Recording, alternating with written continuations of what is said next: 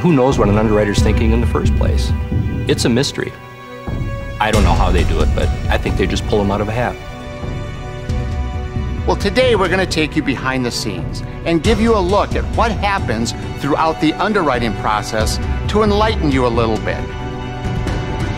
Insurance carriers should be the insured's partner and provide appropriate solutions for options as needed. Does management make it clear that if you don't have the right tools and equipment to do it safely, you just don't do it? You get what you need. This high level understanding spurs the underwriter's imagination.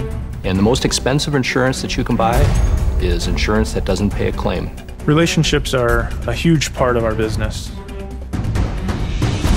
Many of our customers are the result of long term relationships.